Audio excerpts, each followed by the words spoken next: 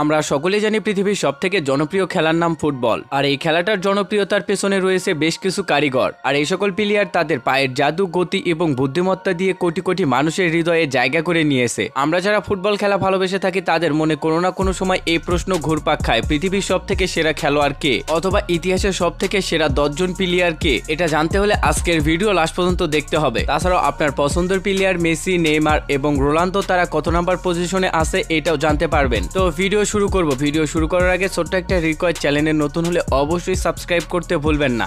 পৃথিবীর সর্বকালে সেরা দশজন খেলোয়াড়দের লিস্টে দশ নম্বরের তালিকায় রয়েছে গ্যারেঞ্জা। আর গ্যারেঞ্জা ছিল সত্যি অসাধারণ একজন প্লেয়ার এবং গ্যারেঞ্জাকে পৃথিবীর সর্বশ্রেষ্ঠ ড্রিপলার বলা হয়। তাছাড়াও গ্যারেঞ্জার গতি এবং আক্রমণাত্মক মনোভাব যেটি দলকে অনেক বেশি অ্যাডভান্টেজ দিত। আর হয়তোবা আপনি এইটা জেনে অবাক হবেন, গ্যারেঞ্জা ছিল প্রতিবন্ধী। গ্যারেঞ্জার একটি পায়ের পাতা বড় এবং একটি পায়ের পাতা ছোট ছিল, তারপরও তার গতি ছিল সত্যি অসাধারণ। গ্যারেঞ্জা এবং প্লে তারা একসাথে ব্রাজিল টিমে খেলতো। তবে গ্যারেঞ্জার ফুটবল কেরিয়ার ছিল মাত্র চার বছর, উনিশশো আটান্ন সাল থেকে শুরু করে উনিশশো বাষট্টি সাল পর্যন্ত ফুটবল খেলে এবং উনিশশো তিরাশি সালে মৃত্যুবরণ করে। ইতিহাসে সেরা দশজন প্লেয়ারদের লিস্টে নয় নম্বরে অবস্থান করেছে রবার্ট লেওয়ান্ডুস্কি। হয়তোবা আপনারা সকলে তাকে চিনবেন। তিনি পোল্যান্ডের একজন বিখ্যাত খেলোয়াড়, বর্তমানে পোল্যান্ড দলের ক্যাপ্টেন তাছাড়াও ক্লাব ফুটবলে বায়ান মিউনিকের হয়ে দুশো ছিয়াশিটি গোল করেছেন। তাছাড়াও তিনি আটবার পোল্যান্ডের সেরা খেলোয়াড় নির্বাচিত হয়ে ট্রফি লাভ করেন। তাছাড়াও দুই হাজার বিশ সালে ফিফার সেরা প্লেয়ার নির্বাচিত হয়। তাছাড়াও দুই হাজার একুশ সালে বর্ষসেরা প্লেয়ার হিসাবে নির্বাচিত হয় রবার্ট লেওয়ান্ডোস্কি। সর্বকালের সেরা দশজন প্লেয়ারদের লিস্টে আট নম্বরে অবস্থান করেছে নেইমার জুনিয়র, বর্তমানে ব্রাজিল টিমের সুপারস্টার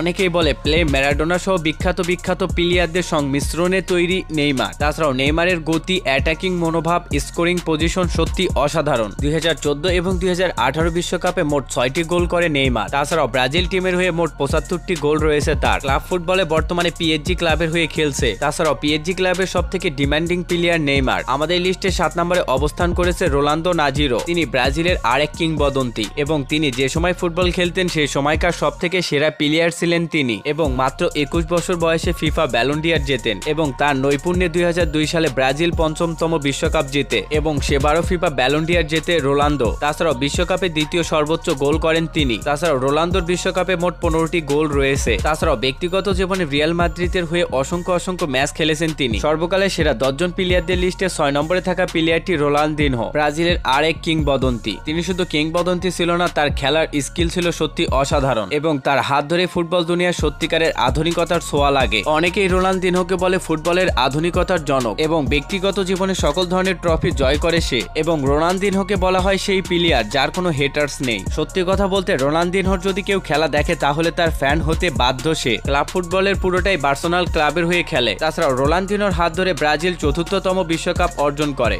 আমাদের লিস্টে পাঁচ নম্বরে থাকা প্লেয়ারটি জিনেদিন জিদান। জিদানের পুরো নাম জিনেদিন ইয়াজিদ জিদান। তিনি ছিলেন ফ্রান্সের একজন সফল ফুটবলার এবং জিদানকে বলা হয় পৃথিবীর সর্বকালের সর্বশ্রেষ্ঠ মিডফিল্ডার। তাছাড়াও মুসলিম পরিবারের জন্ম নেওয়া এই ফুটবলার বিভিন্ন সময় বিভিন্ন বিতর্কের শিকার হয়। তার বিতর্কের ভিতরে সব থেকে বড় বিতর্ক বিশ্বকাপ ম্যাচ চলাকালীন সে মাথা দিয়ে একজন প্লেয়ারকে আহত করে ফেলে দেয়। আর এই বিতর্কের কারণে তাকে লাল কার্ড খেয়ে অবশ্য সেই ম্যাচ থেকে বাহির করে দেওয়া হয়। তাছাড়াও জিদান ফ্রান্সের হয়ে একশো আটটি ম্যাচ খেলে একত্রিশটি গোল করে। তাছাড়াও জিদান সর্বমোট তিনটি বিশ্বকাপে অংশগ্রহণ করেছিল এবং বারোটি ম্যাচ খেলে গোল করে পাঁচটি। তাছাড়াও জিদানের দুর্দান্ত নৈপুণ্যে উনিশশো সালে ফ্রান্স বিশ্বকাপ জেতে। এবার আসি আমাদের লিস্টে চার নম্বরে থাকা ফুটবলার। আমাদের লিস্টে চার নম্বরে থাকা ফুটবলারটি ক্রিস্টিয়ানো রোলান্দো রোলান্দো একজন পর্তুগিজ ফুটবলার। বর্তমান পর্তুগাল টিমের ক্যাপ্টেন। আর যদি উচ্চতার কথা বলি, ছয় ফিট এক ইঞ্চির ওপরে। শুধু তাই নয় রোলান্দোকে বলা হয় পৃথিবীর সব থেকে সুন্দর ফিটেস্ট প্লেয়ার। এবং যদি আপনারা রোলান্দোর বডি ল্যাঙ্গুয়েজের দিকে তাকান, তাহলে অবশ্যই বুঝতে পারবেন সে কতখানি ফিটেস্ট দুই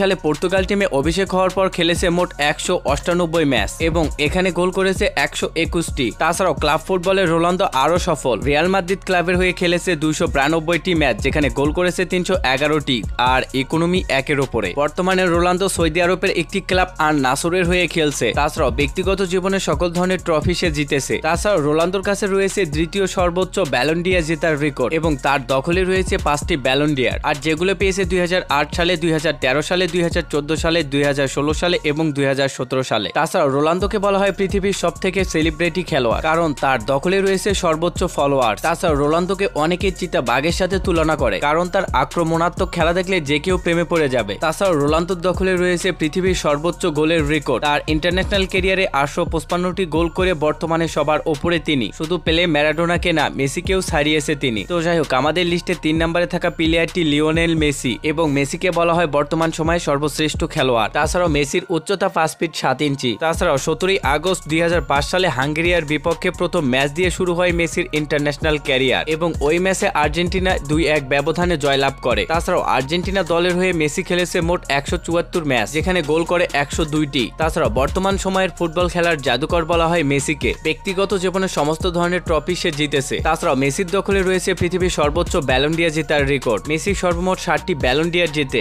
এবং সর্বপ্রথম ব্যালন্ডিয়ার জেতে দুই হাজার নয় সালে এবং দুই হাজার নয় থেকে দুই হাজার বারো সাল পর্যন্ত ব্যালন্ডিয়ারকে রেখেছিল নিজের দখলে এবং পরের তিনটি ব্যালন্ডিয়ার দুই হাজার পনেরো, দুই এবং দুই হাজার একুশ সালে পায়। তাছাড়াও দুই হাজার বাইশ কাতার ওয়ার্ল্ড কাপ জেতার পেছনেও ছিল মেসির দুর্দান্ত অবদান। তাছাড়াও ইন্টারন্যাশনাল কেরিয়ারে রয়েছে তার দ্বিতীয় সর্বোচ্চ গোলের রেকর্ড। পর্তুগিজ ফুটবলার রোনালদোর পরেই মেসির অবস্থান। তো যাই হোক, সর্বকালের সর্বশ্রেষ্ঠ প্লেয়ারদের লিস্টে দুই নম্বরে অবস্থান করেছে ডিয়াগো ম্যারাডোনা। পাঁচ ফিট পাঁচ ইঞ্চির এই প্লেয়ারটিকে বলা হয় ফুটবল খেলোয়াড়ের খুদে জাদুকর এবং আর্জেন্টিনা দলের সর্বশ্রেষ্ঠ প্লেয়ার। সাতাশে ফেব্রুয়ারি উনিশশো সাতাত্তর সালে হাঙ্গেরির বিপক্ষে ম্যাচ দিয়ে প্রথমে ইন্টারন্যাশনাল জীবনে পা রাখে। তারপরে দিয়াগো ম্যারাডোনাকে আর পেছনে ফিরে তাকাতে হয়নি, কারণ তার পায়ের জাদু ছিল সত্যি অসাধারণ। একটা ফুটবল আর পা দিয়ে যে এত কিছু করা যায় তাকে না দেখলে বিশ্বাসই করতে পারবেন না। তো যাই হোক, দিয়াগো ম্যারাডোনা আর্জেন্টিনা দলের হয়ে খেলেছে মোট একানব্বইটি ম্যাচ, যেখানে গোল করে মোট চৌত্রিশটি। তাছাড়া ম্যারাডোনা ক্লাব ফুটবলে খেলে চারশো একানব্বইটি ম্যাচ এবং এখানে গোল করে দুইশো উনিশ উনষাটটি। তাছাড়াও দিয়াগো ম্যারাডোনার হাত ধরে আর্জেন্টিনা নেয় দুইটি বিশ্বকাপ। আর এই দুইটি বিশ্বকাপে ম্যারাডোনা অনেক বেশি ভূমিকা পালন করে। ব্যক্তিগত জীবনে অসংখ্য অসংখ্য ট্রফি এবং রেকর্ড ম্যারাডোনার ঝুলিতে। আর এত সব ভালো ভালো রেকর্ডের পেছনে রয়েছে একটা বিতর্ক রেকর্ড ইচ্ছাকৃতভাবে হাত দিয়ে গোল দেওয়া। এই রেকর্ডটার কারণে ম্যারাডোনাকে আজীবন মনে রাখলেও এটি ছিল ম্যারাডোনার জীবনের সব থেকে বড় একটি অভিশাপ। তো যাই হোক, আমাদের লিস্টে